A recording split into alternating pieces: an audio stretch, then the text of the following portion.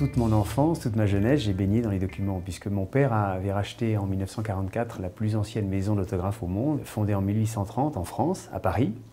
Donc j'ai baigné dans les manuscrits, au milieu des lettres de Byron, de Marie-Antoinette, de Victor Hugo.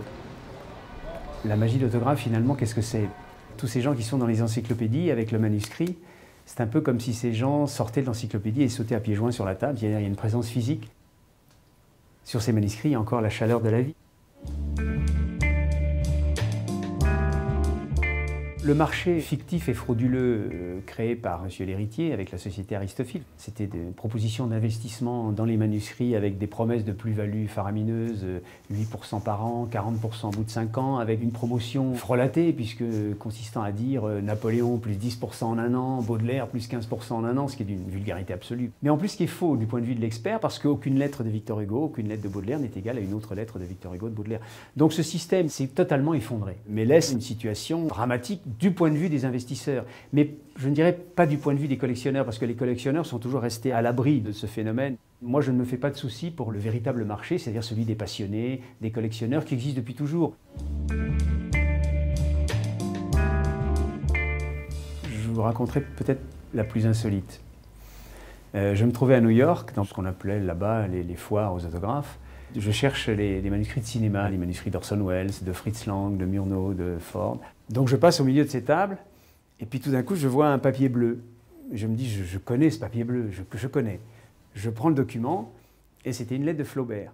Donc vous voyez une lettre de Flaubert au milieu des gants de boxe, des battes de baseball, dans Park Avenue, euh, New York, Manhattan, déjà c'est assez étonnant.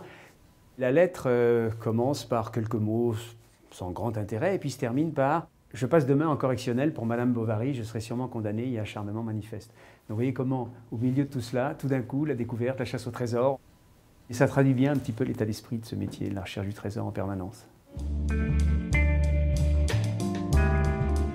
Il n'y a pas de plus belle découverte, il y a des découvertes. Et une récente qui me plaît beaucoup.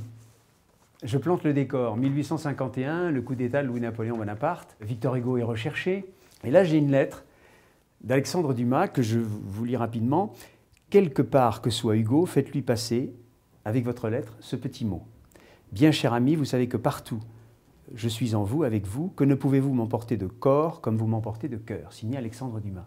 Et en haut de la lettre, vous avez un petit R. Ce petit R, c'est le petit R que Hugo avait l'habitude de placer sur les courriers qu'il avait reçus. Autrement dit, la bouteille à la mer est arrivée à destination. C'est-à-dire que les deux amis ont fini par se rejoindre. Je trouve que dans ce petit mot, il y a un, parfum, il y a, une émotion qui passe. Moins qu'un grand regret, c'est plutôt un, espoir qui taraude un peu tous les marchands, euh, tous les marchands d'autographes. On n'a jamais rien retrouvé euh, de Molière. Aucun texte, à part quelques signatures sur des actes notariés. Il y a une vraie histoire au fond. Euh, à la mort de Molière, l'ensemble des papiers de la troupe de Molière sont arrivés à, à sa veuve. Sa veuve les avait confiés au régisseur de la troupe, Lagrange. Et puis on perd, on perd la trace de l'ensemble de ces documents. Donc on sait qu'il y avait les documents de la troupe.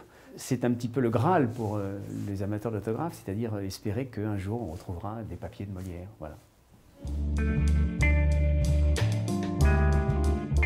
J'ai été élu très récemment président de la Compagnie nationale des experts. L'expert authentifie, garantit, estime, et en même temps, qu'est-ce qui garantit finalement euh, le sérieux de l'expert. Puisqu'aujourd'hui, n'importe qui, vous, euh, les gens dans la rue, peuvent mettre sur leur carte de visite expert en manuscrit, expert en autographe, expert en tableau, expert en ce que vous voulez, puisque ça n'est pas protégé par la loi. La loi ne reconnaît pas le titre même d'expert. Être membre d'une compagnie d'experts veut dire que euh, l'expert concerné a 10 ans d'ancienneté, qu'il a une expérience reconnue par ses pairs, qu'il a une assurance, et surtout qu'il répond à un code de déontologie. Donc, si vous voulez, aujourd'hui, l'expert, le véritable expert, est celui qui est membre d'une compagnie d'experts.